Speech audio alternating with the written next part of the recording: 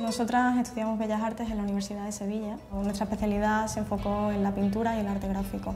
Si nos remontamos a mucho antes de, hacer la carrera y tal, cuando nosotras éramos pequeñas y veíamos en, la televisión Dragon Ball, pues empezamos a sentir una pasión muy grande por el mundo que, había creado Akira Toriyama. Nosotras somos aficionadas a los videojuegos, a la lectura de cómics, manga y a la animación.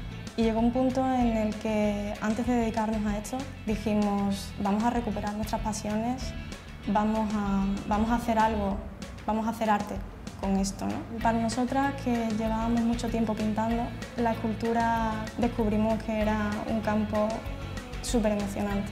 La escultura nos permitía representar un icono, mm, traer esos ídolos que nosotros tenemos de la infancia, traerlos a la vida real.